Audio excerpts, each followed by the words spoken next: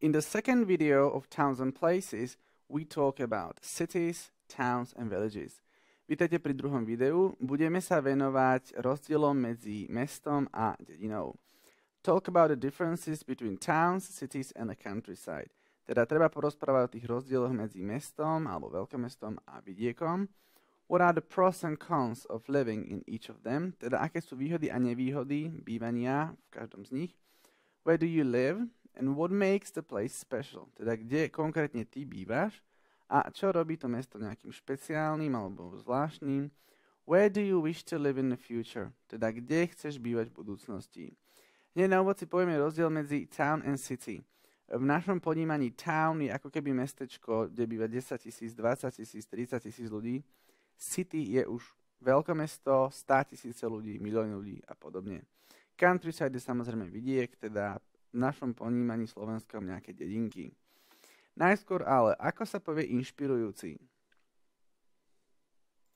Inspiring. So this picture is really inspiring. Ďalej to bude pokojný. Peaceful. Uh, môžete povedať vetu Living in a countryside is peaceful. Teda bývanie na vidieku je pokojné. Pozor, žiadne dve LK. Peaceful s jedným L. A napokon priťahovať attract. Attract attention, priťahovať pozornosť, alebo attract visitors, priťahovať návštevníkov a podobne. To použitie je samozrejme široké. A predtým, ako začneme vypracovať zadanie, pozrieme sa na slovnú zásobu, ktorú budeme používať. Huge znamená obrovský, veľmi veľký. Countryside je vidiek, to už poznáte. Explain, vysvetliť. A keby som dal vetu vysvetliť niekomu, tak to bude explain to somebody. Pozor na tú predložku.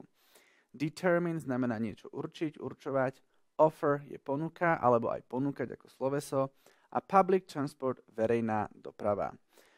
so let's have a look at what we have to say. Let me start by saying that there are huge differences between living in a town, city, and living in a countryside. Začneme zo široka, aby skúšajúci vedel, že sme tému už odštartovali a na nejakú všeobecnú vetu potom môžeme naviazať konkrétnejšie. Teda dovolte mi začať tým, že poviem, a, že rozdiely medzi mm, bývaním v meste a na vidieku sú veľké, teda huge differences.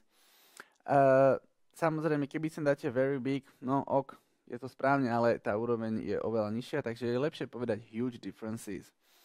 Uh, the basic difference, teda základný rozdiel, is, of course, in the number of people who live in a village and in a city. Teda dám hneď ten základný rozdiel, ktorý je a vložím tam to samozrejme, čiže of course, tým vyjadrujem ako keby svoj postoj k tej výpovedi, k tomu, čo hovorím a je to dôkaz toho, že ste nad vecou, že tomu rozumiete a nemáte problém vyjadriť svoj názor k tomu, čo hovoríte. Základný rozdiel je teda samozrejme v počte obyvateľov, ktorí bývajú v dedine alebo v meste. First, let me explain the difference. A village is usually populated by some hundreds, maybe thousands of people to the max.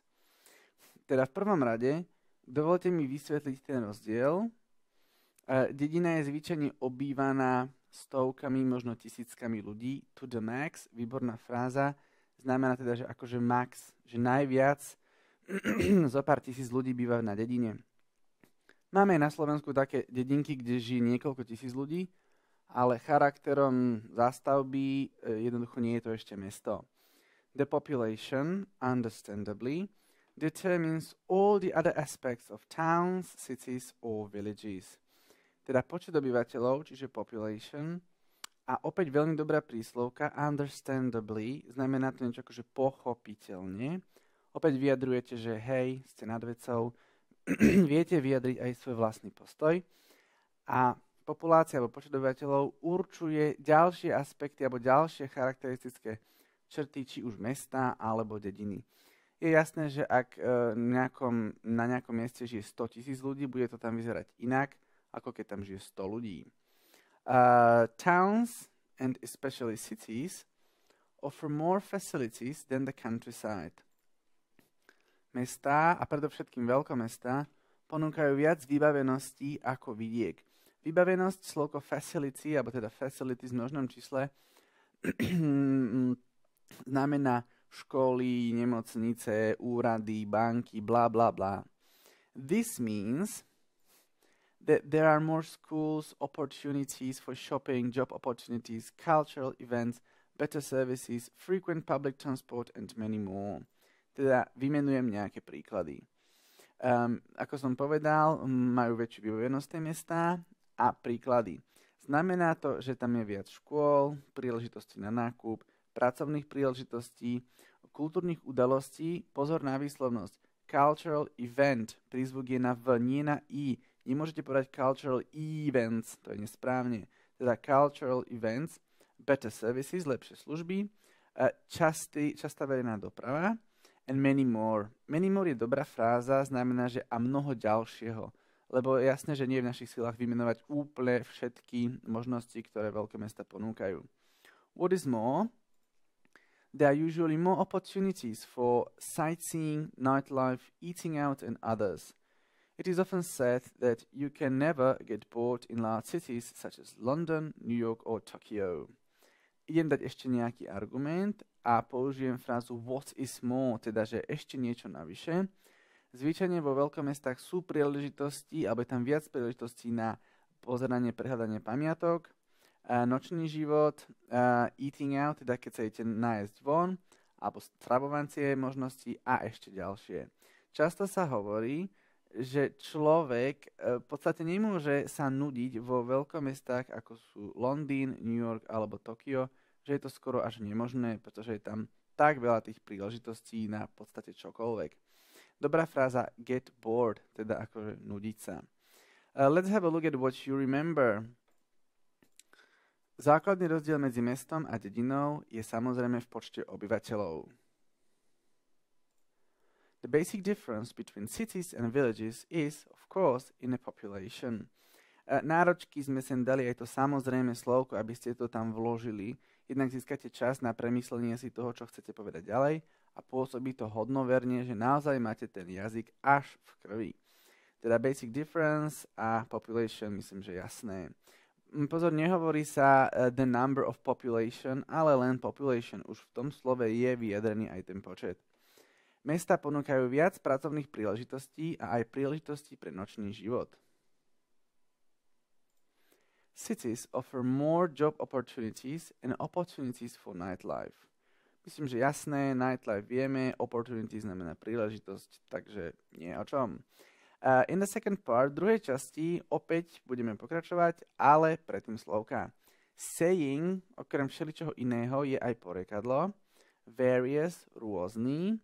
Noise, nejaký hluk. Stuck, zaseknutý. Last, trvať Áno, vy možno poznáte last v zmysle, že posledný, akože last train, posledný vlak, ale last je aj sloveso a týka sa to časového priebehu. Napríklad lesson lasts 45 minutes.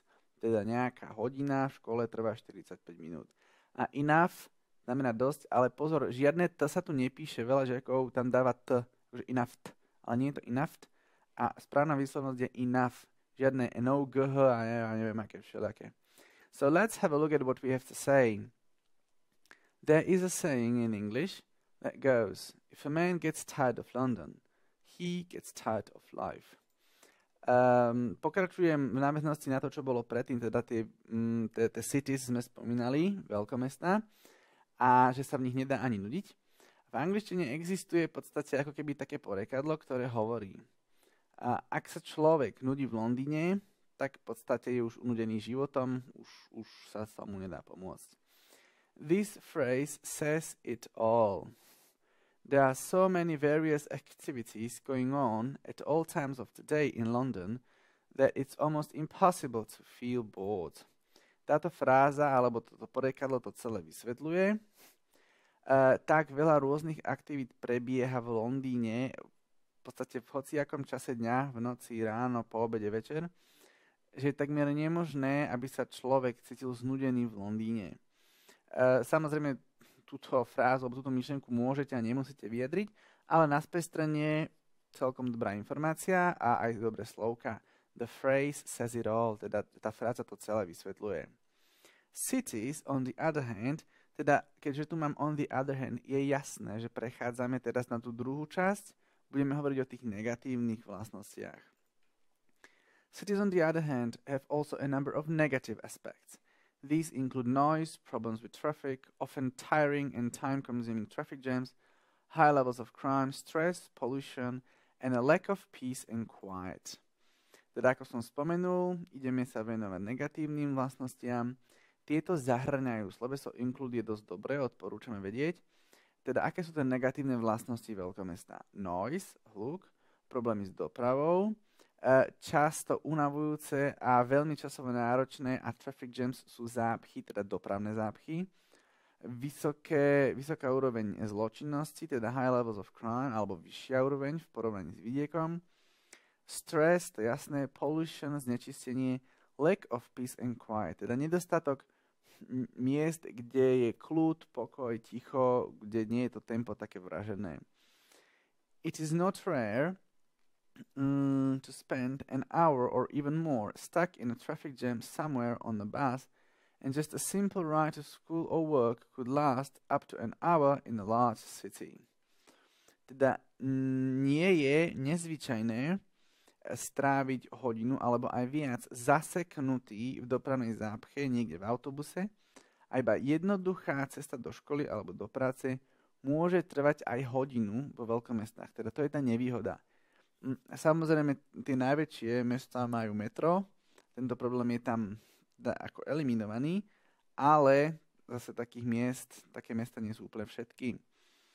In spite of the fact that cities do have some parks, it's usually not enough, and most of what you see every day is just sidewalks, roads, skyscrapers, and concrete everywhere you go. Veľmi dobrá fráza. Napriek tomu faktu, in spite of the fact that cities do have some parks, napriek tomu faktu, že mesta majú nejaké parky, teda o nejaké oblasti, kde je zeleň, a použili sme do have, je to na zdôraznenie, nie je to chyba. Uh, um, sú situácie, alebo v podstate také tie jazykové situácie, kedy môžem použiť cities do have some parks. Teda dám tam aj do a dám tam aj hlavné sloveso have vedľa seba. Uh, používa sa to, ako som už spomínal, na zdôraznenie. Teda majú nejaké parky, ale zvyčajne to nestačí. It's usually not enough. A väčšinu toho, čo vidíte každý deň, vo veľkomeste sú chodníky, cesty, mrakodrapy, skyscrapers a betón všade, kam sa pohnete, alebo teda everywhere you go. These, uh, toto sú niektoré z tých nevýhod veľkomesta. Let's have a look at what you remember. Je takmer nemožné cítiť sa znudenie vo veľkomeste. It's almost impossible to feel bored in a large city. Myslím, že jasné, impossible poznáme a feel bored, cítiť sa znudenie. Number 4. Mesta majú tiež nevýhody ako hluk, dopravné zápchy a znečistenie. Cities have disadvantages such as noise, traffic jams and pollution too. Uh, špeciálne tu máme to tiež. Mohli sme samozrejme použiť also, a je to v pohode, ale chceli sme vám ukázať, že ak použijem toto to, tak ide na koniec vety a často sa oddeluje čiarkou v hovorovom prejave ako keby takou pauzou. Čiže cities have disadvantages such as noise, traffic jams and pollution too. Teda tým zdôrazním, že aj mesta majú tieto problémy a nie sú to len samé výhody. Noise poznáme, pollution myslím, že jasné. In the final part, we need these words. Inhabitants, obyvateľia, Grow znamená pestovať niečo. Grow je samozrejme aj rásť, ale podľa kontextu u nás to bude pestovať. Crops, úroda. Self-sufficient, sebestačný. Naturally, prirodzene, príslovka. A cultural opportunities, kultúrne príležitosti, opäť uvidíme akého druhu. So what we say, in contrast, villages offer their inhabitants a lot of peace, clean air, and the environment is in general much healthier. In contrast znamená, že idem dávať nejakú druhú protichodnú myšlienku. V našom prípade nebudem už hovoriť o mestách, ale ideme na vidiek. E, teda dediny ponúkajú svojim obyvateľom e, peace, to znamená akože pokoj, kľud, clean air, čistý vzduch a životné prostredie je vo všeobecnosti, teda in general, much healthier, teda oveľa zdravšie. Usually, zvyčajne, people live in houses and have their own gardens where they can grow whatever they want, especially fruits, vegetables, and even their own crops. Zvyčajne na vidieku uh, ľudia žijú v domoch a majú svoje vlastné záhrady, kde môžu pestovať čokoľvek chcú. Predovšetkým, opäť dobrá príslovka, especially, a tu veľký pozor na výslovnosť. Fruits. Nie fruits, ale fruits. Rôzne ovocie. Vegetables, zeleninu. Nie vegetables, oni nepestujú tables, akože stoly, to sa nedá pestovať, to nevyrastie, ale vegetables. A áno, máme tam množné číslo, je to preto, lebo chceme vyjadriť rôzne druhy ovocia a rôzne druhy zeleniny. And even their own crops, teda môžu si dopestovať svoju úrodu, či už, ja neviem, kukuricu, obilia a tak ďalej. This means that they can become self-sufficient and produce their own food, which is much healthier than what you buy in supermarkets and grocery stores. Toto znamená, že tí ľudia sa môžu stať sebestačnými, self-sufficient, keď si vedia dopestovať a môžu si v podstate produkovať alebo vyrábať svoje vlastné jedlo, which is much healthier, ktoré je oveľa zdravšie ako to, čo si kúpite v supermarkete alebo potravinách. Grocery store sú potraviny. Uh, there are naturally some disadvantages even in living in a countryside. Teda existujú prirodzene, opäť ďalšia príslovka, znamená to prirodzene. Ako som už spomínal, vyjadrite tým takú tú, akože som nad vecou, viem tam dať aj svoj názor. Teda um, áno, existujú aj nejaké nevýhody, keď človek býva na vidieku. In most villages, public transport is infrequent, shopping, job and culture opportunities are insufficient, there is usually almost no nightlife in villages, and these are only some of the most typical drawbacks of living in a country. A teda vo väčšine dedín alebo na vidieku verejná doprava nie je taká častá, a príležitosti na nakupovanie, pracovné príležitosti alebo aj na kultúru nie sú dostatočné, teda insufficient znamená nedostatočný, dosť dobré slovko, odporúčame zapamätať. A zvyčajne tam je žiaden život a toto sú len niektoré najtypickejšie nevýhody, alebo teda ako keby zádrhele bývania na vidieku.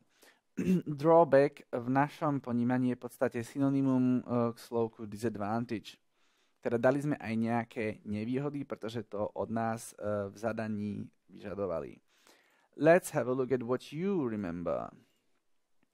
Na vidíku môžete pestovať svoje vlastné ovocie a zeleninu.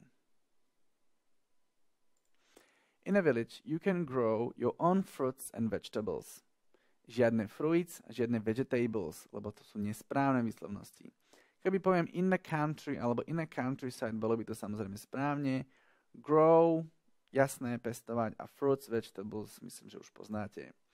Vo väčšine dedín je verejná doprava nepravidelná a nie je tam takmer žiaden nočný život. In most villages, public transport is infrequent and there is almost no nightlife vieme verejná doprava infrequent, teda nepravidelný, alebo teda ako nečastý, že človek by aj išiel niekam, ale nemá ako. A nightlife, nočný život tiež poznáme. In a final part, teda v tej záverečnej časti, kde sa budeme uh, vyjadrovať uh, k tomu, a aké môžu byť problémy, keď človek... Oh, á, tak nebudeme dokonca... Aha, tu máme typo tak toto zadanie sa samozrejme tu netýka tejto témy. Uh, sorry, sorry, sorry. Budeme sa tu venovať uh, tomu, kde by sme chceli bývať v budúcnosti. Shoe industry, obovný priemysel. Myslím, že to je jasné. Shoe poznáme. Founded, založený. Uh, sloveso found v základnom tvare znamená založiť niečo, ale find je nájsť. A teda minulý čas od find je found preto niekedy si žiaci toto sloveso pletú, lebo keď zbadajú tvar found, nevedia hneď povedať vlastne aký význam. Samozrejme, kontext nám pomôže. Uh, pace of life, rýchlosť života, alebo tempo života. A switch znamená teda vypnúť, zapnúť, ale aj striedať niečo. Samozrejme, ukážeme si, ako to myslíme. Uh, currently, I'm living in a small town of about 25,000 people. A teda v pôvodnom zadaní sa pýtajú, že kde bývam, kde budem bývať v budúcnosti. V súčasnosti a bývam v malom meste, približne, ktoré má približne 25 tisíc obyvateľov. This place is special because of its shoe industry history. Čím je toto miesto uh, nejaké známe alebo špeciálne?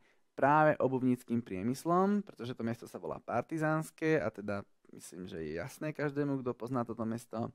Shoe industry history.